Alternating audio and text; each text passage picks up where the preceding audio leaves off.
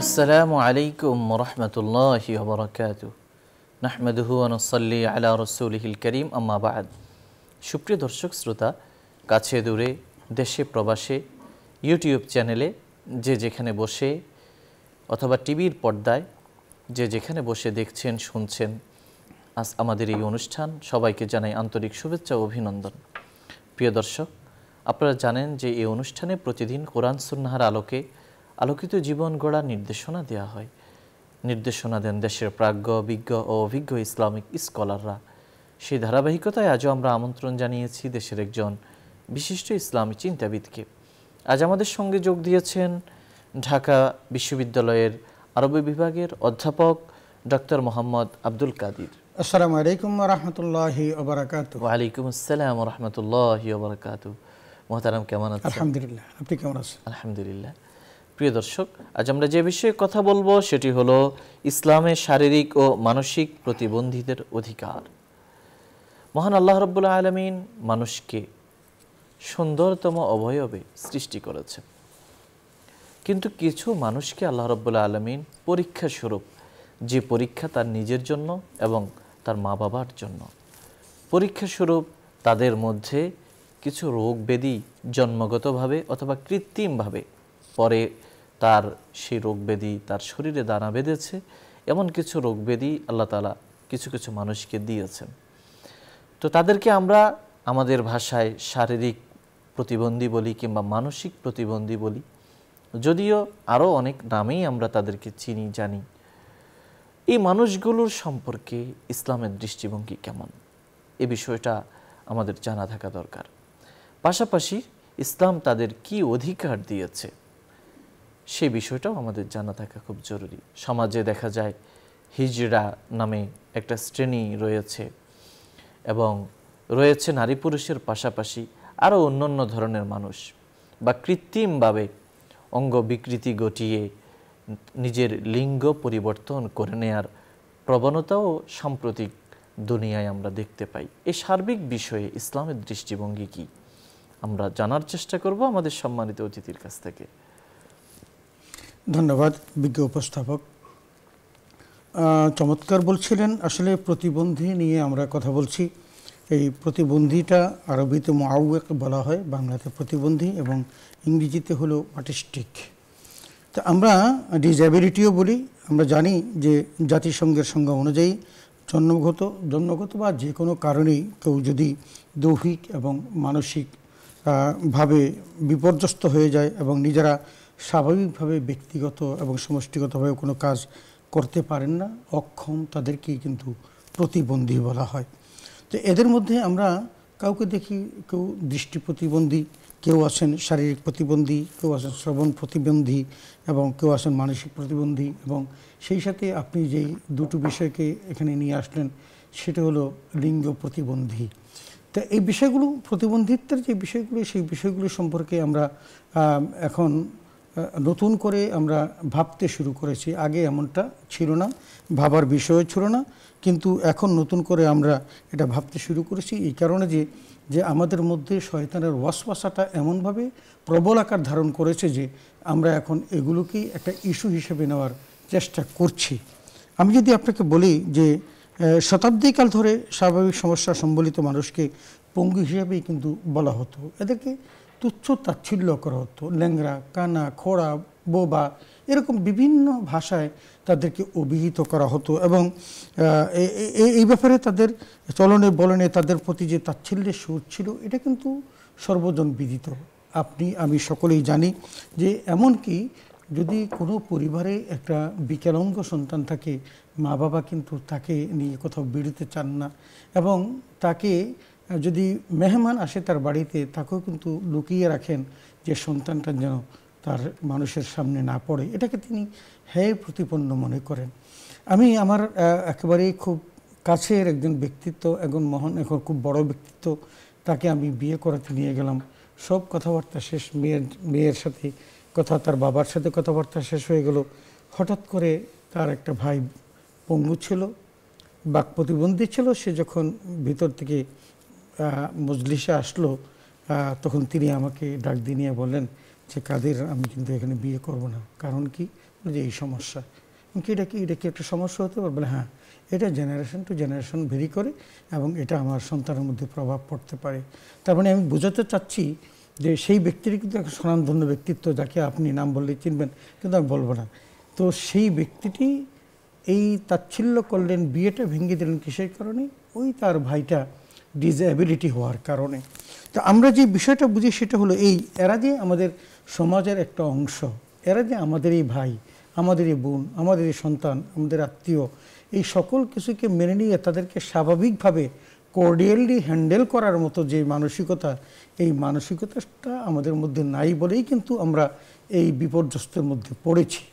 তবে আমাদের একটা জিনিস মনে রাখতে হবে, আল্লাহ তাআলা শানু বলছেন, ইয়া আইয়ুহাল্লাযীনা আমানুত্তাকু রাব্বাকুমুল্লাযী খালাকাকুম মিন নাফসিন ওয়াহিদা।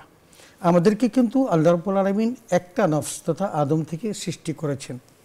এই যে আদম থেকে সৃষ্টি করে, এরপরে সূরা নিসার প্রথম আয়াতটি দেখেন বলছেন, ইয়া আইয়ুহান নাসু তাকু রাব্বাকুমুল্লাযী খালাকাকুম মিন নাফসি ওয়াহিদা ওয়া খালাকা মিনহা যাওজাহা ওয়া বাসতা মিনহুমা রিজালান কাসীরান ওয়া নিসা ওয়াত্তাকুল্লাহা আল্লাযী তাসাআলুনা বিহি ওয়াল আরহাম। এই আয়াতে কারিমার মধ্যে আল্লাহ আমাদেরকে একজন পুরুষ এবং একজন নারী থেকে সৃষ্টি করে গোটা বিশ্বময় ছড়িয়ে দিয়েছেন। শুধু কারণটা হলো ইতাহারাফু আমরা যেন একে অন্যকে চিনতে পারি, একে অন্যকে তার বংশ মর্যাদা বুঝি, তার সাথে আমরা কথা বলতে পারি, তাকে সম্মান করতে পারি, তার প্রতি শ্রদ্ধা, ভক্তি, ভালোবাসা প্রদর্শন করতে পারি। শুধু এটাই হলো আমাদের এই বিভক্তির কারণ। অন্য কোনো কারণে আল্লাহ আমাদেরকে এই গোত্র এবং বংশে বিভক্ত করেন নাই। তো যাই হোক আমরা এই সকল কিছু যখন জানতে পারলাম, তখন আমাদের মধ্যে একটা জিনিস বোধোদয় হতে হবে যে আমরা ইসলাম হিসাবে বা মুসলমান হিসাবে আমরা কি করছি। বা অন্যান্য ধর্মাবলম্বীদের কাছে এই ডিসএবিলিটি মানুষগুলো বা প্রতিবন্ধীদের শারীরিক মানসিক প্রতিবন্ধী যারা, তাদের অবস্থানটা কোথায়? আমরা দেখি যে হিন্দুদের যে শাস্ত্র, হিন্দুদের শাস্ত্র মতে তারা সৃষ্টিকর্তা তার মাথা থেকে ব্রাহ্মণদের সৃষ্টি করেছেন। তাদের ধারণা যে ব্রাহ্মণ যারা ব্রাহ্মণ জাতি, তাদেরকে সৃষ্টিকর্তা তার মাথা থেকে সৃষ্টি করেছেন আর দুই হাত থেকে জয়ন্তদের তারা সৃষ্টি করেছেন। আর দুই উরু থেকে বৈষ্ণবদের সৃষ্টি করেছেন আর দুই পা থেকে সৃষ্টি করেছেন শুভ্রদের সভ্য যারা একেবারে নিচ শ্রেণির। এখন তারা এখন কি করলেন? যে তারা ওই শুভ্র যারা তাদের সাথে তাদের যে ব্যবহার সেটা কুকুর বিড়ালের মতো ব্যবহার। যদিও তারা মানুষ যাই হোক এটা ভিন্ন প্রসঙ্গ এটা তাদের বিষয়। আমাদের ইসলাম ধর্মে এই বিষয়টা আমাদের ইসলাম ধর্মে যেটা করেছেন সেটা হলো এই যে আমরা যেটা দেখেছি সেটা হলো ইসলাম এদেরকে সম্মানের আসনে অধিষ্ঠিত করেছে। আমরা গ্রিক সাম্রাজ্যের প্রথা ছিল যেটা সে প্রতিবন্ধীদের সাথে তারা মর্যাদার সাথে তারা তাদের যে মর্যাদাপূর্ণ শহর, সেখানেও তারা বাস করতে দিত না দিত অন্য কোনো কোনো জায়গায় তাদেরকে স্থানান্তর করত এবং ইউরোপীয় সভ্যতা প্রতিবন্ধীদের সাথে মানবিক সুযোগ সুবিধা বঞ্চিত করত। আমি বুঝতে চাচ্ছি এই কারণে যে ইসলাম যেটা করেছে, সেটা কতটা প্রিভিলাইজ দিয়েছে এবং কতটা মানবিক আচরণ করেছে সেই জিনিসটা বোঝানোর জন্য। আমাদের একটা জিনিস মনে রাখতে হবে যে ইসলাম কখনো কোনো কালে, আজকে আমরা যারা এই কথাগুলো নিয়ে কথা বলছি, চর্চা করছি, বিভিন্ন জায়গায় সেমিনার সিম্পিজমে উপস্থাপন করছি, তাদের জেনে রাখা উচিত যে ইসলাম কিন্তু অনেক বড় জায়গাতে তাদেরকে অবস্থান করেছেন। আমরা যদি সেই জায়গাটার কথা বলি যে ইসলাম এই আবদুল্লাহ উম মাকতুমের মতো একজন সাহাবি, তিনি উনি অন্ধ ছিলেন কিন্তু অন্ধ সাহাবি যখন তিনি রাসুলের কাছে গেলেন ওই সময় দৃষ্টি প্রতিবন্ধী। দৃষ্টি প্রতিবন্ধী তিনি যখন রাসুলের কাছে গেলেন আর রাসুল সালাম তখন কিন্তু বড় বড় কোরাইশ বংশের বড় বড় নেতাদের সাথে বসে কথা বলছিলেন এবং তাকে বলা যায় যে অবজ্ঞাই করলেন। মাকতুমের কথা শুনলেন না। তিনি যখন চলে গেলেন, আল্লাহ কিন্তু ধমক দিয়েই বলছেন, আবাসা ওয়াতাওয়াল্লা আং জা আহুল আমা ওমা ইদ্রিকা আল্লাহ ইয়াতজাক্কা আও ইয়াজ্জাক্কারু ফাতাং ফাহু যিকরা। এই আয়াতে কারিমার কারণে রাসূল আকরাম সাল্লাল্লাহু আলাইহি ওয়াসাল্লাম সারাটি জীবন উম্মে মাকতুমকে দেখলে একটু সংযত হয়ে যেতেন। কারণ উম্মে মাকতুমের কারণে আল্লাহ তাআলা কোরআন নাজিল করেছেন। এবং তাকে ধমক দিয়েছেন যে সে তো ইসলাম গ্রহণ করতে পারতো, তুমি কেন তাকে তার দিকে তাকালে না? এই সমস্ত। তো আমরা যেটা দেখলাম সেটা হলো যে যে উম্মে মাতুমকে আল্লাহ রব্বুল আলমিন সম্মানের সাথে পবিত্র কোরআন নাজিল করে রাসুল আকরম ইসলামের দৃষ্টি আকর্ষণ করেছেন যে এই প্রতিবন্ধী কি দৃষ্টি প্রতিবন্ধীকে সম্মানিত করার জন্য। শুধু তাই নয়, আমরা উম্মে মাকতুম সম্পর্কে জেনেছি যে রসুল আকরম সাল্লাহ সাল্লাম তাকে সাম্রাজ্যের দুইবার দায়িত্ব দিয়েছিলেন, এমনকি তেরো বার কোনো হাদিসে এসেছে দশ বার তাকে ইমামতির দায়িত্বে ইমাম হিসেবে তাকে নিয়োগ করেছেন। তার মানে একজন অন্ধ প্রতিবন্ধীর যে কী পরিমাণ সম্মান থাকতে পারে, সেটা উম্মে মাকতুমকে দেখলেই বোঝা যায় যে ইসলাম কতটা সম্মানিত তাকে করেছেন। শুধু তাই নয়, আপনাকে, আপনার মাধ্যমে জানিয়ে রাখি যে রাসুল আকরম সাল্লাহ ইসলাম মক্কা থেকে মদিনায় হিজরত করলেন, কিন্তু হিজরতের পূর্বে মদিনার মানুষগুলোকে দিনের প্রতি দাওয়াত দেওয়ার জন্য আল্লাহ এবং তার রাসুল শিখানোর জন্য যেই ব্যক্তিটিকে পাঠিয়েছিলেন তিনি হলেন উম্মে মাকতুম রাদিয়াল্লাহু তাআলা আনহু। তার মানে একজন দৃষ্টি প্রতিবন্ধী মানুষের প্রতি রসুল আকরম ইসলামের যে তাকরিম বা যে সম্মান ছিল এবং তার মধ্যে যে ধীশক্তি রসুল খুঁজে পেয়েছিলেন সে কারণেই কিন্তু তাকে আগে মদিরাতে পাঠিয়েছিলেন যেই মানুষগুলোর কাছে আল্লাহ এবং রাসুল কোনো পরিচয় ছিল না এরপর আপনি আসেন মুয়াজবিন জাবাল রাদিয়াল্লাহু তিনি ইয়েমেনের গভর্নর ছিলেন। তিনি কিন্তু একজন প্রতিবন্ধী ব্যক্তি ছিলেন। এখন আমরা আরও দেখি যে আমর ইবনে জুহুম প্রতিবন্ধী সত্ত্বেও তিনি অহুদ যুদ্ধে অংশগ্রহণ করেছেন এবং তিনি ওই যুদ্ধেই তিনি শাহাদাত বরণ করেছেন। তার মানে তিনি প্রতিবন্ধী, অথচ তিনি যুদ্ধের ময়দানে অহুদে অংশগ্রহণ করে তিনি শাহাদাত বরণ করেছেন। আমরা দেখি যে যুগের শ্রেষ্ঠ মুক্তি ছিলেন আতবা বিন আবি রাবা তিনি কানে কম শুনতেন। কানে শুনতেন না। অকবা তিনি রাবাহ। অকবা বিন আবি। রাবাহ, তিনি ছিলেন শ্রবণ প্রতিবন্ধী কিন্তু তিনি ছিলেন একজন শ্রেষ্ঠ মুফতি এবং আব্দুল ইবনে আব্বাস শেষ জীবনে তিনি অন্ধ হয়ে গিয়েছিলেন কিন্তু তিনি ছিলেন শ্রেষ্ঠ দশ হাদিস দশ দানকারী তার মানে ইসলাম যে কতটা তাদেরকে সম্মানিত করেছে সেই বিষয়টা আমরা এখান থেকে উপলব্ধি করালাম। এখন আমাদের দায়িত্ব এবং কর্তব্যর কাছে যদি আমরা যাই, তাহলে আমরা সেখানে অনেকগুলো বিষয় খুঁজে পাই, যে আল্লাহ রব্বুল আলমিন যে তাদেরকে এরকমটা কেন করলেন? একটু যদি আমরা একটু অ্যানালাইসিস করি যে আল্লাহর সৃষ্টিতে স্বাভাবিক কিছু দেখলে, এ অস্বাভাবিক কিছু দেখলে আমাদের মনে হতেই পারে যে আমরা এই এই লোকটাকে আল্লাহ কেন এরকম বানালেন? ঘরের মধ্যে পাঁচটা সন্তান, তার মধ্যে একটাকে তিনি এই প্রতিবন্ধী বানালেন। শারীরিক হোক আর প্রাণ মানসিক প্রতিবন্ধী হোক কেন বানালেন? এটার মূল উদ্দেশ্যটা হলো আল্লাহ তালা তার যে শক্তিমত্তা আল্লাহর যে ক্ষমতা মানুষ যেন উপলব্ধি করতে পারে। হুয়াল্লাদি ইউসৌ এরকম ফিল আর আল্লাহ যে আল্লাহ যে মায়ের গর্ভে মানুষকে বিভিন্নভাবে বিভিন্ন আকৃতিতে তৈরি করতে পারেন এই ক্ষমতাটা যে একমাত্র অ্যাবসোলুটলি আল্লাহ রাখেন মানুষ এটা দেখে যেন উপলব্ধি করে। ওই মানুষটা দেখে যে এই মানুষটাকে আল্লাহ তার মায়ের গর্ভ থেকে এভাবে পাঠিয়েছেন। আল্লাহর ক্ষমতা ছিল, বাবা মা অথবা কোনো ডাক্তার তাকে পরি- পরিবর্তন করতে পারে নাই এবং সম্ভব হয় নাই। আমরা আরেকটা জিনিস যদি দেখি, সুরা সুর আর আপনি উনচল্লিশ, উনপঞ্চাশ নম্বর আয়াতটা যদি দেখেন, সেখানে দেখবেন কি চমৎকারভাবে আল্লাহ বলছেন, এই যে মানুষের ভিন্নতা, এই যে ছেলে, মেয়ে অথবা কাউকে কোনো সন্তানাদি না দেওয়া, এটা কিন্তু আল্লাহ কুদরতের খেলা। লিল্লাহিমুল কুসামাবাতি বলা তাহলে বলছেন যে আসমান এবং জমিনের রাজত্ব হলো আল্লাহর জন্য। ইয়াখলুকু মাইয়াশা তিনি যেভাবে চান সেভাবেই মানুষকে সৃষ্টি করেন। ইয়াহা বলে মাইয়াশা উইনাথা আল্লাহ যাকে চান তাকে কন্যা দান করেন। ওই ইয়াহা বলে মাইয়াশাউ জাকু যাকে ইচ্ছা তিনি সন্তান দেন। ওই উজাউজহুম দুকরান ও ইনাসা এবং কাউকে আল্লাহ কি করেন? তাদেরকে ছেলে এবং মেয়ে উভয়টাই দান করেন। ওয়াজ আরুল মাইয়াশাউ আকিমা এবং যাকে ইচ্ছা আল্লাহ থেকে বন্ধ রাখেন।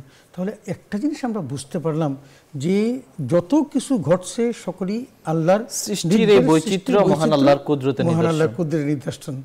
লা তাবদিল আলী কালিমাতিল্লাহ এটা যেরকম অপরিবর্তনীয় এবং আল্লাহ তার ধর্ম সম্পর্কে যে বলছেন যে আল্লাহর যে বিধান আছে যা এই এই বিধান কু তা- অলঙ্ঘনীয়। পরিবর্তন- করতে পারবে না। তাহলে আমরা বুঝলাম যে অস্বাভাবিক কাউকে দেখলে আমাদের এটা ভাবতে হবে যে আল্লাহ রব্বুল আলমী ইউসব এরকম আর হামি কেইফাই আসা কেমন করে তার এই মায়ের গর্ভের মধ্যেই মানুষকে এতভাবে আল্লাহ তৈরি করতে পারেন। আর সুস্থ ব্যক্তি যদি তিনি তিনি তিনি তখন কি করবেন? তিনি তখন তাকে দেখে কৃতজ্ঞতা প্রকাশ করবেন। আল্লাহ শেখ সাদি রহমাউল্লাহ তার একটা ইতিহাস এরকম ছিল যে তিনি পঁচিশটি বছর পর্যন্ত দিনের দাওয়াত দিয়েছেন। পায়ে হেঁটে হেঁটে কিন্তু জুতা পরার সৌভাগ্য তার হয়নি। তো একদিন গাছের নিচে বসে আছেন এবং বসে বসে তিনি ভাবতেছেন, তিনি তখন মনে মনে বললেন যে, আল্লাহ, পঁচিশটা বছর তোমার রাস্তায় খেদমত করলাম, দিনের দাওয়াত দিলাম, কিন্তু একজোড়া জুতা পরার সৌভাগ্য আমার হলো না। তো এই ভাবতেছেন, হঠাৎ করে দেখেন যে তার সামনে দিয়ে একটা লোক গড়িয়ে গড়িয়ে যাচ্ছে। তার মানে তিনি তার পাই নেই। তখন তিনি হঠাৎ করে বুঝলেন যে, আল্লাহ আমার দরকার নেই। তুমি যে আমাকে দুটো পা দিয়েছ, তাতে আমি তোমার প্রতি কৃতজ্ঞ। তার মানে মানুষ যিনি ভালো আছেন তিনি ওই প্রতিবন্ধী ব্যক্তিকে দেখে নিজে কৃতজ্ঞতা প্রকাশ করবেন যে রব্বুল আলমিন কিন্তু আমাকে তার মতো করতে পারতেন, তা না করে আমাকে ভালো করেছেন। এজন্য আমি তার সুক্রিয়া আদায় করি। তারপর তিন নম্বর যে প্রতিবন্ধীকে তার এই প্রতিবন্ধিত্বের বিনিময়ে আল্লাহ তালা তাকে জান্নাত দান করবেন, যেটা হাদিসে কুৎসিতে আল্লাহ তালা বলেছেন। হাদিসে কুৎসিতে যেখানে রাসুলের জবানে এসেছে আল্লাহর কথাটি, সেই সেখানেই আল্লাহ এই প্রতিবন্ধীদের জন্য যেহেতু তাকে ডিজেবিলিটি বানিয়েছেন, দুনিয়ার সব কিছু পরিপূর্ণ জিনিস তাকে দিতে পারেন নাই, কানে শুনে না, চোখে দেখে না, হাঁটতে পারে না, এই যে তাকে কম দিয়েছেন তার বিনিময়ে তাকে জান্নাত দিবেন। এখন আসুন, এই ব্যক্তি প্রতিবন্ধী ব্যক্তি কি করবেন? তার এখন কি করা আছে? তার করা যে আছে সেগুলো কিন্তু আল্লাহ তালা কোরআনে আমাদেরকে জানিয়েছেন যে মা আসব আমি মুসিবতিন ফিলাদে ওলাফি আনফুসিকুম ইল্লাফি কিতাবি মিন কবলি আন্নাবর আহা তিনি এটা বল এটা ভাববেন যে আমার উপর যে আল্লাহ যেই বিপদ চাপিয়ে দিয়েছেন আমাকে যে আল্লাহ এই ডিজেবিলিটি দিয়েছেন অথবা আমাকে পরিপূর্ণ মানুষ হিসেবে আল্লাহ আমাকে পাঠান নাই এটা আল্লাহর বিধানেই ছিল। আল্লাহর বিধানেই আগে থেকেই ছিল। সুতরাং আমি আল্লাহর প্রতি কৃতজ্ঞ আমি অকৃতজ্ঞ নই কারণ এটা আল্লাহর তার জন্য একটা পরীক্ষা। পরীক্ষা। ইন্নে দারিক আল্লাহ ইয়াসির।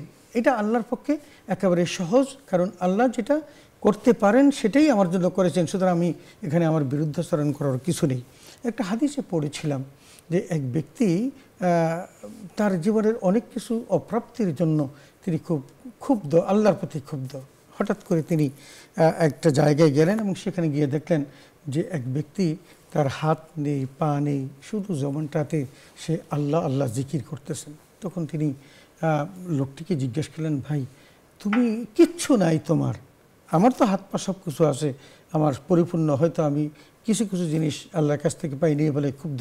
আচ্ছা তুমি কেন আল্লাহকে এত ডাকতেছো? তোমার তো কিচ্ছু নেই, হাত পা কোনো কিছু নেই। তখন তিনি বললেন যে আল্লাহ যে আমাকে আমার জবানটা দিয়েছেন, এটার জন্য আমি আল্লাহর কাছে কৃতজ্ঞ যে আমি তাকে ডাকতে পারতেছি। আপনি দেখুন হজরত দাউদ আলহিসাম আইব আলহিসাম তার যখন সমস্ত শরীরটা, দেহটা রোগে আক্রান্ত হয়ে গেল, পোকাগুলো খেতে খেতে যখন ইয়ে হয়ে গেল, একদিন তিনি অনুভব করলেন যে গলার মধ্যে, জিব্বার মধ্যে কেমন যিনি একটু জড়তা এসে গেছে এবং একটু ব্যথা লাগতেছে। তিনি কাঁদতে লাগলেন এবং আল্লাহকে বলেন, আল্লাহ, গোটা দেহটা খেয়ে ফেলেছে, আমার কোনো আপত্তি নেই। আমি তোমার প্রতি তারপরও কৃতজ্ঞ। তোমার কাছে আমার ফরিয়াদ। তুমি আমার জবানটা, যে জবান দিয়ে তোমাকে ডাকবো, এটাকে তুমি আবার কেড়ে নিও না। তার মানে কৃতজ্ঞতাটা হলো, এই প্রতিবন্ধী ব্যক্তিগুলোর মধ্যে এই ভাবটা আসতে হবে যে, আল্লাহ আমাকে যতটুকু দিয়েছেন, এটা দিয়ে আমি কি সন্তুষ্ট? তারপরে আমরা যে দেখছি যে, দুই নম্বর এই বিশ্বাস রাখবে যে, আল্লাহ কোনো মুমিনকে ভালোবেসেই এই বিপদে ফেলেন।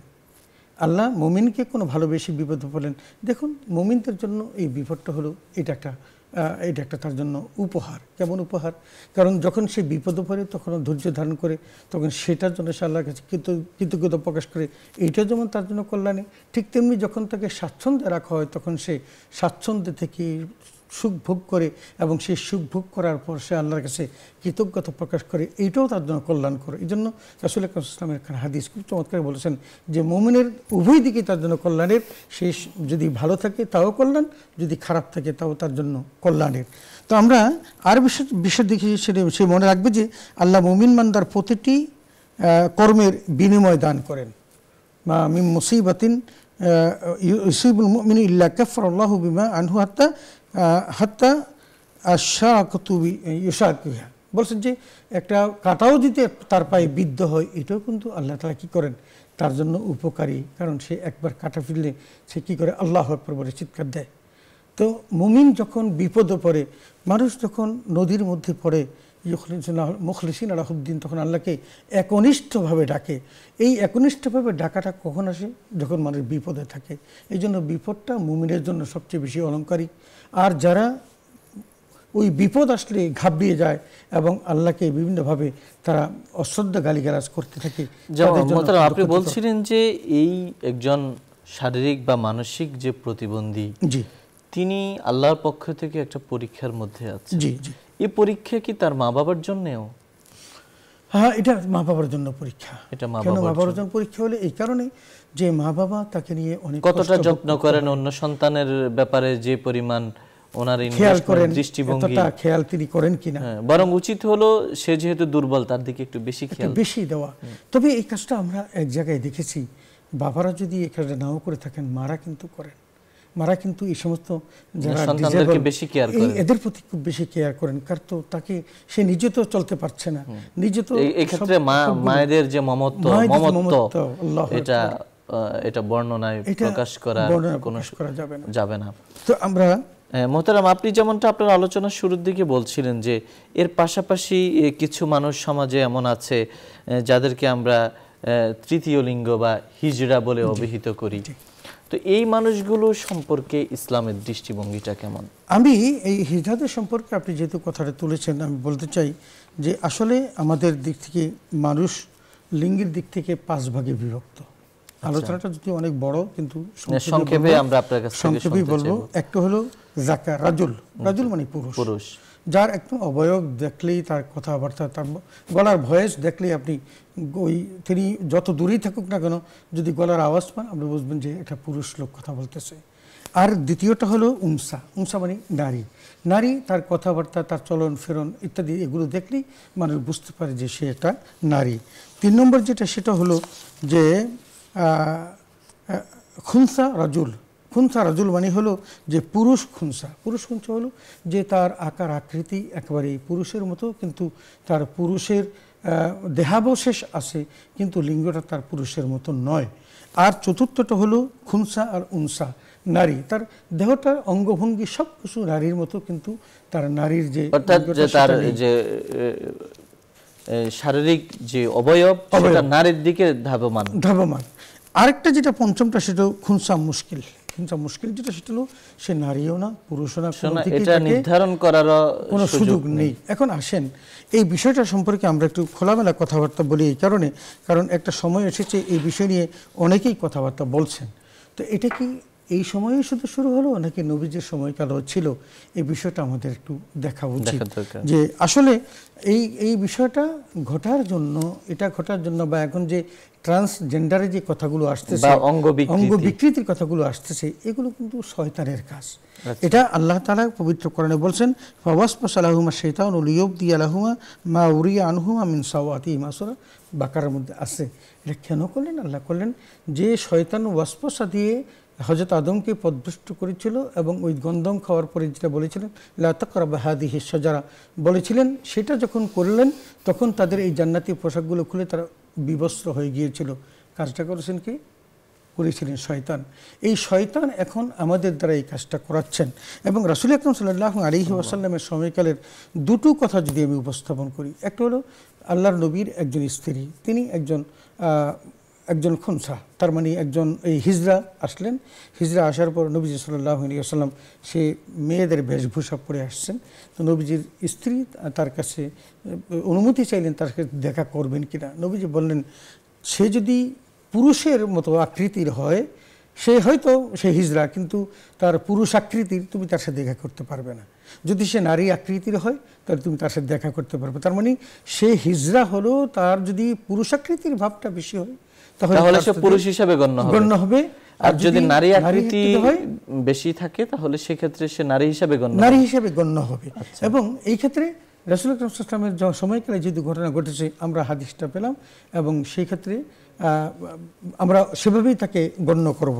এখন আসেন, রসুল আকরম সাল্লামের সময়কালেই কিন্তু এক ঘটনা ঘটেছিল এবং ওমরের সময় ঘটেছিল। সেখানে একজন পুরুষ নারী হতে চেয়েছিল। যেমন আজকে যেটা, যে ঘটনা ঘটতেছে, আমরা যে শরীফ শরীফ নামে যে গল্পের কথা শুনতেছি, বা আরও যে সমস্ত কাহিনীগুলো এখন হচ্ছে অনেক জায়গায় এটা যেহেতু আলোচনায় আসছে এখন তত্ত্ব উপাত্ত অনেক বেরিয়ে আসতেছে। সেই তত্ত্ব উপাত্ত আমরা যে দেখেছি রসুল আকরম সাল্লাম বলছেন লান নবী সাল্লাম দিল মুখান্না সাইনে মিনার রিজাল ওয়াল মুতারাজ্জিলাতিন মিনান নিসান ওকাল আখরিজুহুম মিন বুয়ুতিকুম হাত্তা ফাখরাজ নবী সাল্লাহ আলী আসলাম ফুলানান ও উমর ফুলানান। এখানে হাদিস যেটা বলছে যে রসুল আকরম সাল্লাহ আলী আসলামের সময়কালে যে তিনি অভিশাপ দিয়েছেন তাদেরকে যারা পুরুষ তথাপি তারা মেয়ে হতে চায়। একটু খেয়াল করবেন। একদম স্পষ্ট হাদিস বলছেন যে পুরুষ মেয়ে হতে চায় তার প্রতি রাসুরের অভিশাপ এবং অভিশাপ দিয়েছেন ওইসব মেয়েদের যারা পুরুষ হতে চায়। তিনি বলেছেন ওদেরকে তোমরা ঘর থেকে বের করে দাও। এবং রাসুল সাল্লাম একজনকে ঘর থেকে বের করে দিয়েছিলেন এবং হজরত ওমর ফারুক রাজিয়াল্লাহ তিনিও কিন্তু একজনকে ঘর থেকে বের করে দিয়েছিলেন। তাহলে স্ট্যাটাসটা যেটা দাঁড়াল সেটা হলো এই যে এটা শুধু ইমান বিধ্বংসী নয় এটা হলো আমাদেরকে চরিত্র বিধ্বংসী, বিধ্বংসী পাশাপাশি আল্লাহ এবং আল্লাহ রসুলের অভিশাপের কারণ। অভিশাপের কারণ। এবং এটার দ্বারা তারা কি করছেন? এটার দ্বারা তারা সমকামিতাকে উস্কে দিচ্ছেন যেটা আমাদের ওয়েস্টার্ন কান্ট্রিগুলোতে যে বিষয়গুলো আছে। আমরা ইতিমধ্যে যে খবরগুলো পেয়েছিলাম সেটা হলো আমাদের দেশের কিছু কিছু যারা ওয়েস্টার্ন কান্ট্রিতে গিয়ে তারা এরকম করেছে এবং তারা অর্থাৎ ইসলাম এই অঙ্গ বিকৃতিটাকে প্রশ্রয় দেয় কোনোভাবেই প্রশ্রয় দেয় এটা কি এটা কি যে অঙ্গ বিকৃতিটা এটা কি মানে আল্লাহর সৃষ্টিকে পরিবর্তন করার কি একটা উপায়? এটা কি মাধ্যম? এটা কোনোভাবেই নয় বরং আল্লাহ রব্বুল আলমিন যেভাবে রেখেছেন এটার প্রতি তার সন্তুষ্ট থাকার ছিল তার ইমানি দায়িত্ব। বরং সেটা যদি সে ফেল করে তাহলে কিন্তু সে জাহান্নামি হবে। আমি আপনাকে বলছিলাম যে তাদের জন্য কি করণীয় হিজড়াদের জন্য। এখানে আমার কাছে আছে যে দুই শ্রেণির মানুষ যে আমরা খুনসা রাজুল খুনসা উনসা এই দুই শ্রেণির মানুষের জন্য হিজড়াদের জন্য আমাদের যে দায়িত্ব সেটা হলো তাদের জন্য চিকিৎসার ব্যবস্থা করা। হ্যাঁ অর্থাৎ বর্তমানে আধুনিক যে চিকিৎসা বিজ্ঞান যেটা করে সেটা হলো যদি পুরুষের ভাবটা বেশি হয় তাকে চিকিৎসার মাধ্যমে পুরুষ তৈরি করে দেওয়া আর যার নারীর ভাবটা বেশি তার জন্য নারীর অবয়ব তৈরি করে তাকে আমাদের সমাজের মধ্যে বেঁচে থাকার সুন্দর ব্যবস্থা করে দেওয়া। এটা আমাদের নৈতিক দায়িত্ব। আমরা যদি তাচ্ছিল্য করে হিজড়াদেরকে আসলে হিজড়াদের তাচ্ছিল্য করার কারণে কিন্তু তারা আবার উগ্র হয়ে গেছে। একটু খেয়াল করবেন আমরা ইতিমধ্যে শুনেছি যে বহু জায়গাতে হিজড়ারা ছোট ছোট বাচ্চাদেরকে কোলে নিয়ে টাকা পয়সা দাবি করে যথাযথ টাকা পয়সা এবং চাঁদাবাজি, চাঁদাবাজি ইত্যাদি। এই সমস্ত এগুলো কেন হলো?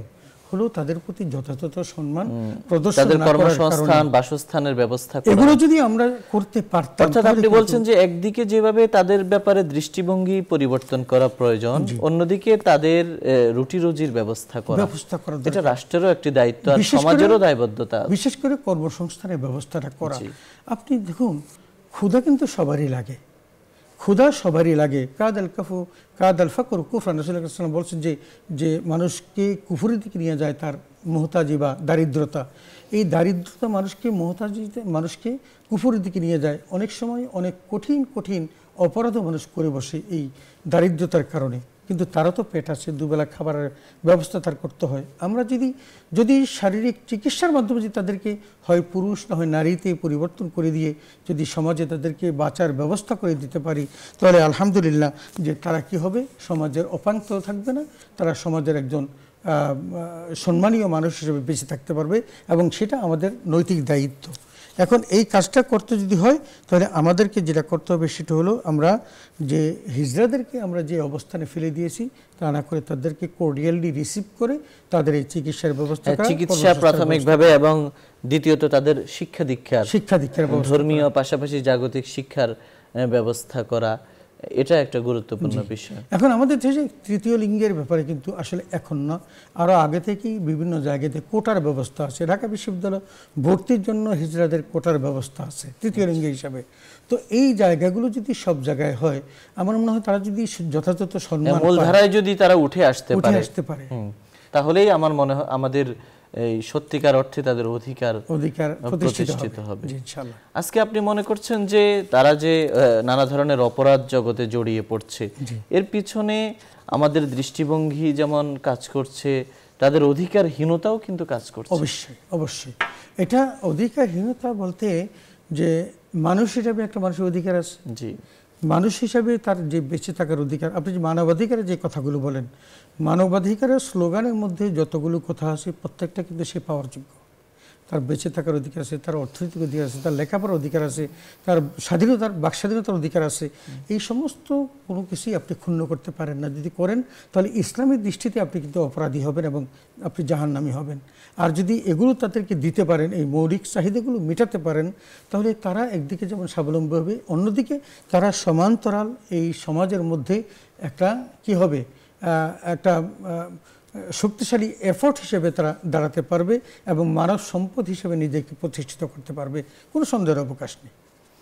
আমরা আপনার কাছে একটি বিষয় জানতে চাইব। সেটা হলো যে অনেক সময় আমরা পত্রপত্রিকায় দেখি বা খবরে দেখা যায় যে আহ, অনেকেই আছে তাদের গরিব মানুষ বিশেষভাবে সুস্থ মানুষ তার অঙ্গ বিকৃতি ঘটিয়ে ভিক্ষাবৃত্তিতে তাকে নামিয়ে দিচ্ছে। এই বিষয়টাকে ইসলাম কীভাবে দেখে? নাউজবিল্লাহ মিন জালিক আল্লাহর যে আপনাকে যদি এভাবে একটু বলি যে চক্ষু দান জি। দেহ দান এটা কিন্তু এখন কি আছে?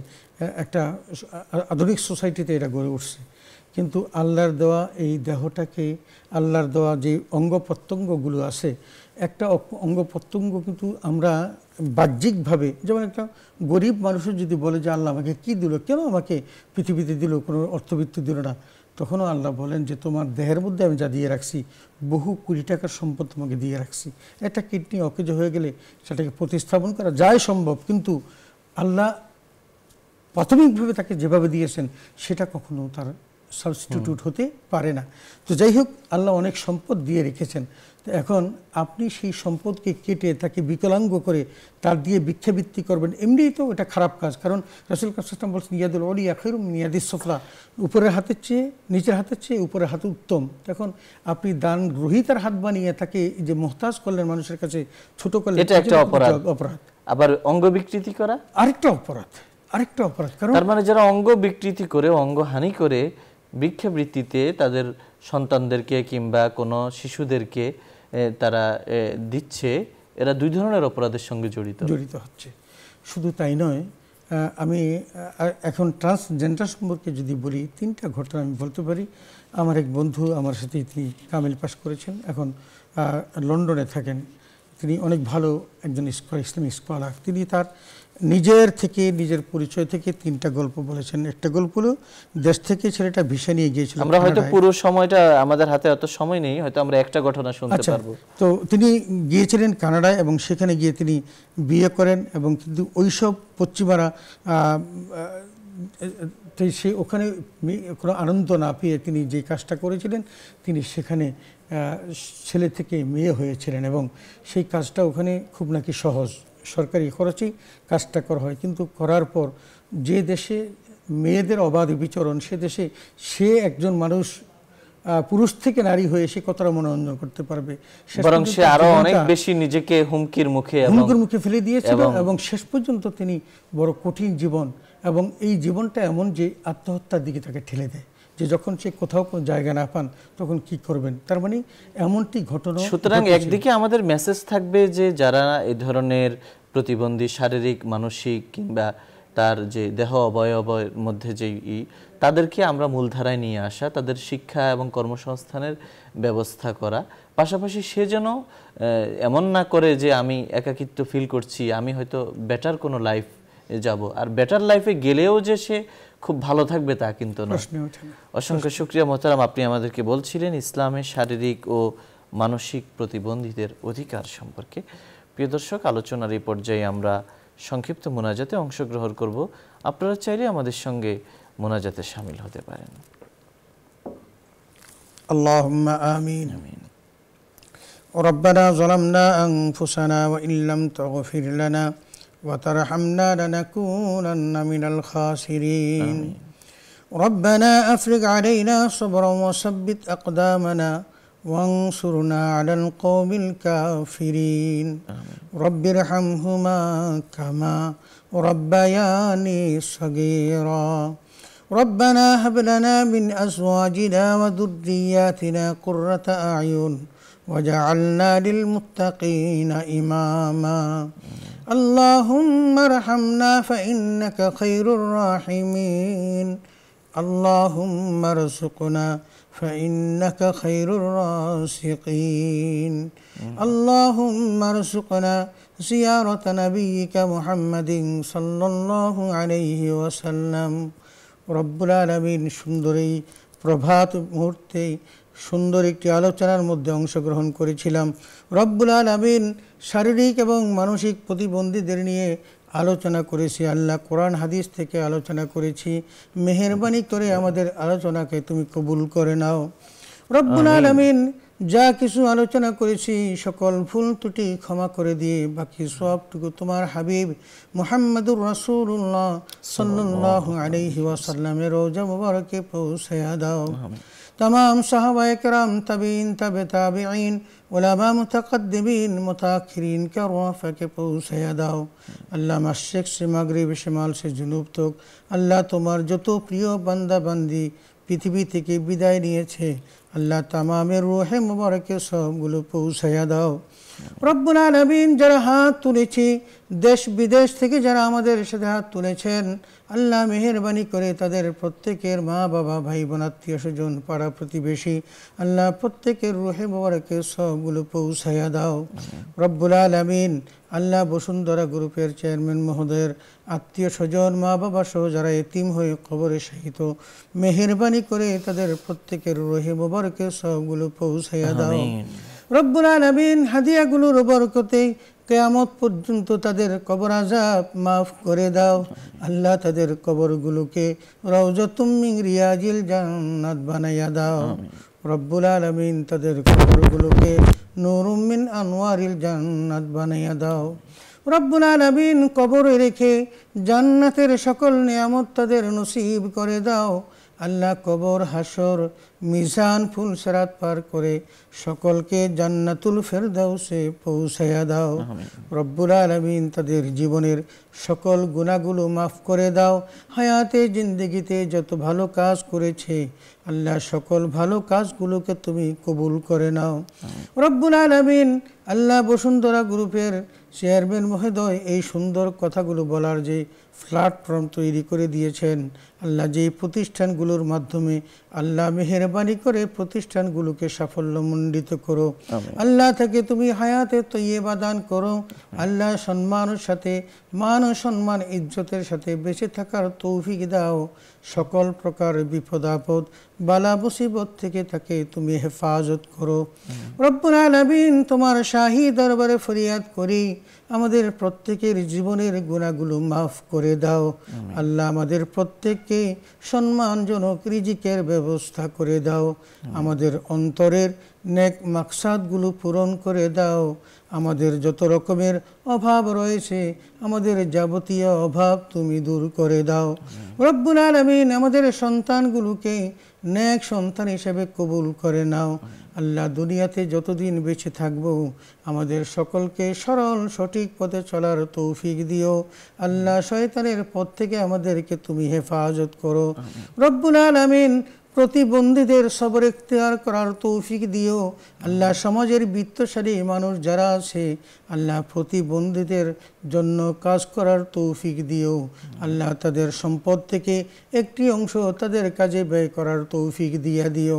রব্বুল আলমিন মেহেরবানি করে আমাদের সমাজের অপাঙ্ক্তেও যারা তাদেরকে যেন আমরা সকলেই সম্মান করি সেই সম্মানটুকু শ্রদ্ধাবোধটুকু করার জন্য আমাদের অন্তরকে তুমি তৈরি করে দিও। রব্বুল আলমিন মেহরবানি করে যারা অসুস্থ আছেন আমাদের সকলকে তুমি সুস্থতা দান করো। আল্লাহ মেহরবানি করে আমাদের সকলকে তুমি ইমানের সাথে কবুল করো। রব্বুল আলমিন আমরা যারা এখানে উপস্থিত রয়েছি আমাদের সাথে যারা হাত তুলেছেন আল্লাহ তাদের দুনিয়াবী জীবনগুলোকে সাফল্যমণ্ডিত করো। পরকালীন জীবনটাকে তুমি কল্যাণময় করো।